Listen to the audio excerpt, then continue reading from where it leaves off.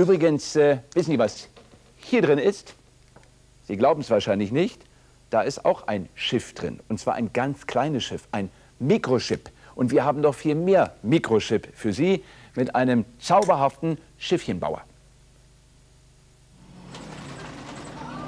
Als Kind wollte Peter Koppen eigentlich Elektriker, Lokführer, Polizist oder Söldner werden. Endhaltestelle Olympiapark. Acht Minuten Pause. Jetzt entfaltet sich das zweite Leben des Peter Koppen. Während die anderen Kollegen rauchen und neue Fahrgäste zusteigen, kann er sich endlich seinem kleinen, aber außergewöhnlichen Hobby widmen. Er greift in seine rechte Westentasche und fängt an, fleißig zu produzieren. Kleine Papierschiffchen. Er nennt sie Mikrochips. Für mich ist Busfahren eine kontemplative Tätigkeit, nicht? Das ist einfach, man sitzt da im Bus, auch an Endhaltestellen. Das ist ja auch von, für mich als Produktionsfaktor äh, wichtig, weil ich natürlich äh, an der Endhaltestelle baue ich jeden Monat 500, 600 Mikrochips, weil man verbringt doch, also trotz aller Rationalisierung müssen sie uns halt Wendezeiten einräumen an den Endhaltestellen. Und das ist natürlich meine Hauptwertschöpfungsphase als Mikrochip-Produzent. Wieder zu Hause beginnt dann seine eigentliche künstlerische Tätigkeit. Er arrangiert die tägliche Papierschiffproduktion zu geometrischen Mustern und klebt sie fest. Circa 200.000 Einheiten hat der fixe Falter in seinem Leben bereits vom Stapel gelassen. Dabei war Peter Koppen nicht immer nur Busfahrer.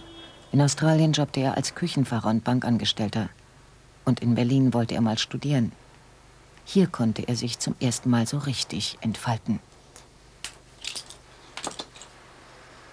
Ich habe äh, ungern mitgeschrieben und ich habe aber in der Zeit, da lagen irgendwelche Flugblätter rum, dann habe ich das halbiert und nochmal halbiert und wieder halbiert, bis halt aus dem DIN A4 Papier dann DIN A14 Papier geworden ist. Und dann habe ich dann nach der Vorlesung, nach anderthalb Stunden, waren halt ca. 30, 35 Schiffe auf der Bank gestanden.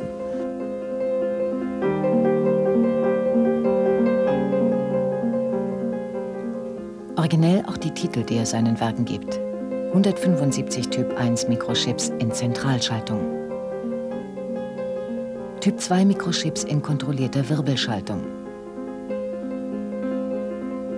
117 Mikrochips vom Typ 1 im mittleren Analogspeicher. Der Dessauer Speicher.